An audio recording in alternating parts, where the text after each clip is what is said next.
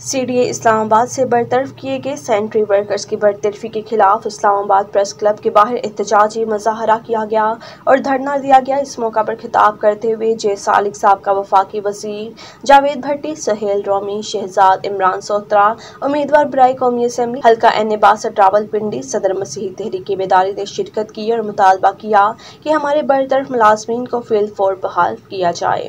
एक बार फिर आपको बताते चले कि सी डी ए इस्लामाबाद से बरतरफ किए किए गए सैनिटरी वर्कर्स की बरतरफी के खिलाफ इस्लामाबाद प्रेस क्लब के बाहर एहतजाजी मुजाहरा किया गया और धरना दिया गया। इस मौका पर खिताब करते हुए जे सालिक साहब का वफाकी वज़ीर जावेद भट्टी, सुहेल रोमी, शहजाद इमरान सोत्रा, उम्मीदवार ब्राई कौमी असम्बली हल्का एन ए बासठ, रावलपिंडी सदर मसीह तहरीक बेदारी ने शिरकत की और मुतालबा किया कि हमारे बरतरफ मुलाजमीन को फिल फॉर बहाल किया जाए।